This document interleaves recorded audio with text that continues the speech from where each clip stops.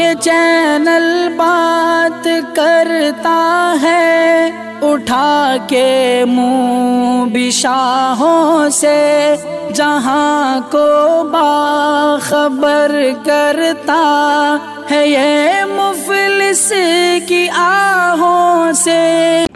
नाजन गिरामी, अस्सलाम वालेकुम रहमतुल्लाहि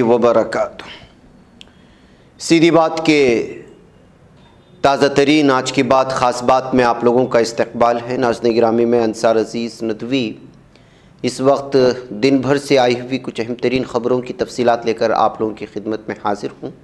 तफसीलात में जाने से पहले मैं आपको इतला कर दूँ कि आज के दोनों प्राइम टाइम शाये हो चुके हैं। जिन हबाब ने नहीं देखा, जाएँ, देखें दूसरों तक फैलाने की कोशिश करें, लिंक को शेयर करें। इदारे की मजबूती नाजन ग्रामी आप लोगों की मजबूती है और आप जानते हैं कि आपको करना क्या है। आइए नाजनी ग्रामी पहली खबर की जानी पड़ते हैं। हरियाणा में बीजेपी की खट्टर हुकूमत बदनवानी के सवालों पर फंसती जा रही है। रोहतक से रुकने पार्लियामेंट अरविंद शर्मा के बाद अब रियासत के पंचायत व तरक्की वज़ीर देवेंद्र बबली ने अपनी ही हुकूमत पर बदनवानी को लेकर बड़ा हमला किया है। उन्होंने तो आवाम से अपनी हुकूमत के ख़िलाफ़ आगे आने की अपील भी कर दी है। वज़ीर देवेंद्र बबली के इस हमले के बाद रियासत की खट्टर हुकूमत में बेचैनी है। जननायक जनता पार्टी के कोटे से खट्टर हुकूमत में काबीना वज़ीर, बबली बीजेपी के सबक रियासती सदर, सुभाष बिराला को बावन हज़ार से ज़्यादा वोटों से शिकस्त देकर रुकन असम्बली बने थे और फिर हुकूमत में वज़ीर बने। बबली ने कहा कि रियासत के कुछ महकमों में बदनवानी का खूब बोलबाला है। नाजिद वज़ी अजम नरेंद्र मोदी के पार्लिमानी हल्के वाराणसी में इन दिनों सैलाब जैसे हालात पैदा हो गए हैं। गंगा नदी की आबी सतह काफ़ी बढ़ गई है, जिससे लोगों को कई तरह के मसाइल का सामना करना पड़ रहा है। शमशान घाट का बड़ा हिस्सा भी पानी में डूब चुका है, जिससे लाशों के आखिरी रसूमात अदा करने में दिक्कतें पेश आ रही हैं। महाशमशान मनी करने का घाट पर पहुँचने वाली लाशों के आखिरी रसूमात के लिए भी लोगों को घंटों इंतज़ार करना पड़ रहा है। नाजिद सोशल मीडिया पर जहर अफशानी और नूपुर शर्मा की तोहन रिसालत सल्लल्लाहु अलैहि वसल्लम के बाद मजहबी मुनाफरत फैलाने वालों पर सख्त कार्रवाई का इंतबाह मुंबई के पुलिस कमिश्नर विवेक फंसल कर ने दिया है और कहा कि सोशल मीडिया पर माहौल ख़राब करने और फ़िरकावाराना कशीदगी पैदा करने वालों पर सख्त कार्रवाई होगी क्योंकि इससे मुल्क में बदअमनी पैदा होती है।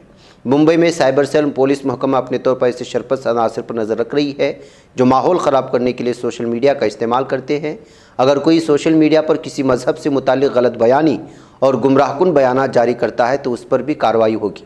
ये बातें मुंबई पुलिस कमिश्नर विवेक फंसलकर ने एक पोर्टल वेबसाइट जहाँ का इंसाफ से बातचीत के दौरान कही है।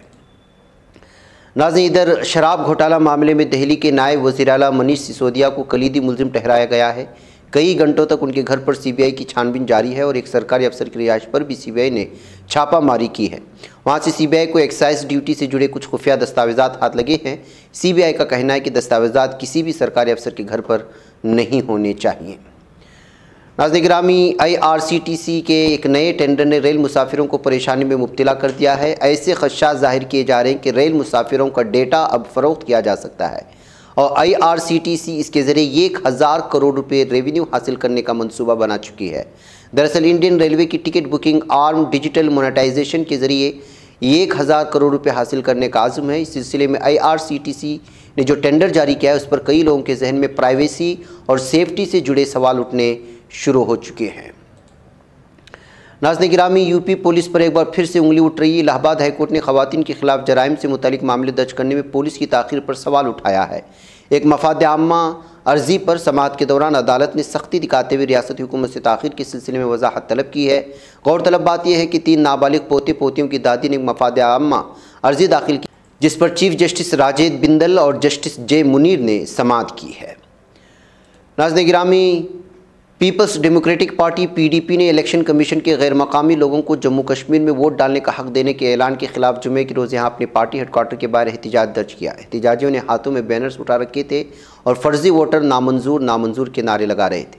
इस मौके पर पार्टी के तर्जुमान आला सैयद सुहेल बुखारी ने मीडिया के साथ बात करते हुए कहा कि हम आज इलेक्शन कमीशन के हालिया फैसले के खिलाफ पुरअमन एहतजाज कर रहे हैं। उन्होंने इल्ज़ाम लगाया कि जम्मू कश्मीर के लोगों के हकूक़ पामाल किए जा रहे हैं। नाजन इधर कांग्रेस के सबक सदर राहुल गांधी ने इल्ज़ाम लगाया कि भारतीय जनता पार्टी की हुकूमत खवतिन मुखालिफ है और ालिम और असमदरी के मुजरमों का दिफा करती है। उन्होंने कहा कि बीजेपी की उत्तर प्रदेश हुकूमत असमदरी के मुजरमों को तहफ़ फराम करती है। वहीं गुजरात की बीजेपी हुकूमत असमदरी और कत्ल के मुजरमों को योम आज़ादी पर माफ़ी देकर रिहा कर दी थी उन्होंने उसे शर्मनाक सियासत के साथ छोटी जहनीत की सियासत भी करार दिया है। नाजिन, महाराष्ट्र के साहिल पर बहकर आने वाली गैर मुल्की कश्ती से तीन ए के फोर्टी सेवन राइफल्स और दीगर हथियार मिलने के बाद सिक्योरिटी निज़ाम को लेकर खौफ की सूरत हाल पैदा हो गई। मामले की जाँच जारी तमाम अभी तक इस वाक़े में दहशतगर्दी का कोई जाविया नहीं मिला है। इस कश्ती में एक भी शख्स सवार नहीं था। मुंबई से एक सौ नब्बे किलोमीटर से ज़्यादा दूर वाक़ श्रीवर्धन इलाके में कुछ मकामी लोगों ने कश्ती को देखा था और सिक्योरिटी एजेंसियों को इतला दी थी। कश्ती में तीन ए के राइफलें और दीगर हथियार मौजूद थे। उसे माहिगिरों ने हरिहरेश्वर साहिल के करीब पाया। इस मामले पर महाराष्ट्र के नायब वजी अला देवेंद्र फडणवीस ने कहा कि एक ऑस्ट्रेलियावी खातून की मिलियत वाली कश्ती रायगढ़ ज़िले के साहिल से बरामद हुई। नाजीन अकवा मुतहदा के खसूस नुमाइंदा बरा इंसानी हकूक टोमो या वोबो काटा ने आलमी इदारे को पेश करदा अपनी रिपोर्ट में बताया कि दुनिया के कई हिस्सों में ग़ुलामी नई शक्ल में बड़े पैमाने पर मौजूद है। इनमें चीन और भारत समेत जनूबी एशिया की कई ममालिक, खलीजी ममालिक, ब्राज़ील और कोलंबिया का ख़ास तौर पर ज़िक्र किया गया। चीन में वगैर मुसलमानों और जनूबी एशिया में दलितों को दौरे जदीद की ग़ुलामी का शिकार बताया गया है। रिपोर्ट में मोरेतानिया, माली, नाइजर और अफ्रीका के साहिल इलाकों में तो अकलीतों को रिवायती तौर पर ग़ुलाम बना रखने के वाक़ात का भी ज़िक्र बयान किया गया है। नाजिन सदर जब तर्दगान ने शाम के साथ मजीद इकदाम को यकीनी बनाने की ज़रूरत पर ज़ोर देते हुए कहा है कि आप सिफारतकारी को कभी भी गैर फ़ाल नहीं कर सकते। सदर एर्दोगान ने गुजशत रोज़ यूक्रेन के एक रोज़ा दौरे के बाद तुर्की वापसी पर तैयारी में सहाफ़ियों के सवाल के जवाब दिए हैं।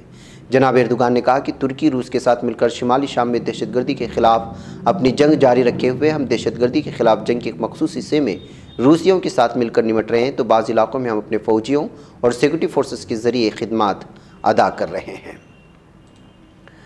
नाजिन, नाइजीरिया में मुसल्ह जत्तों की तरफ़ से रकमाल बनाए गए उनहत्तर अफराद को रिहा करवा लिया गया। ऑपरेशन बाउची सूबे में हुआ, मकामी पुलिस अफसर अब्दुलरजाक नूह जकी ने बताया कि मुसल्ह जत्तों के कब्ज़े से उनहत्तर अफराद रिहा करवा लिए गए हैं। नाजी नाजीदर शैतानी आयात के मुसनफ़ सलमान रुश्ती पर कातिलाना हमले के मुलजिम हादी मतर ने अदालत के सामने इकबाल जुर्म से इनकार कर दिया है। इनकार हादी मतर की तरफ़ से अदालत में दी गई एक बयान में किया गया। गुजशत रोज़ हादी मतर को न्यूयॉर्क की एक अदालत में पेश किया गया था। अपने वकील की तवस्त से अदालत में अपना बयान रिकॉर्ड कराते हुए चौबीस साल हादी मतर ने कहा, इस पर लगाया गया इल्ज़ाम दुरुस्त नहीं है कि वह एक अदबी तकरीब के मौके पर स्टेज के तौर पर दौड़ा और उसने बरतानवी शहरीत के हामिल भारतीय सलमान रुश्ती की गर्दन पर, पेट पर कई वार किए।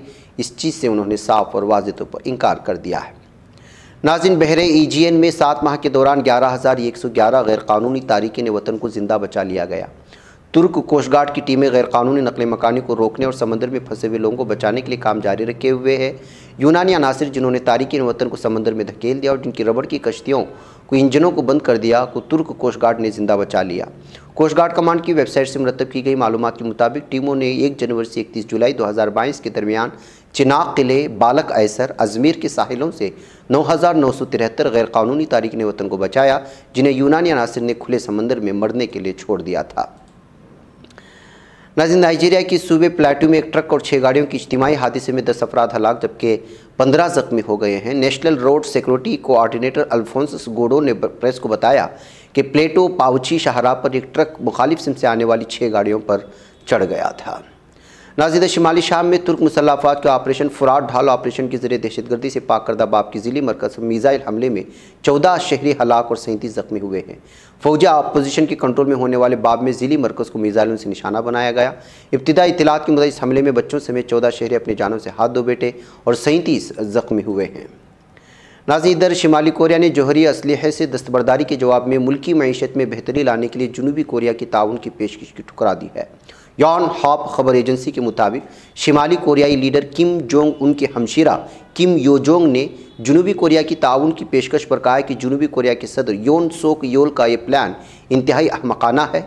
माजी में भी इस तरह के मनसूबे जेर गौर रहे हमें जुनूबी कोरिया से ऐसी किसी पेशकश की ज़रूरत नहीं है।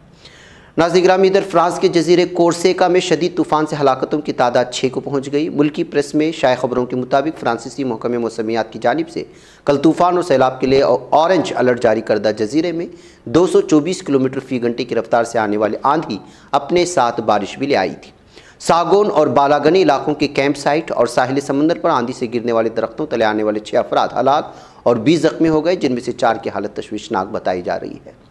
नाजिक में आज की बात, खास बात में इतना है। इंशाल्लाह फिर आप लोगों से मुलाकात होगी। मुझे यहाँ पर इजाज़त अल्लाम वरहमल वर्क ये चैनल हक निगर बन कर कुचल देता है फितनों को।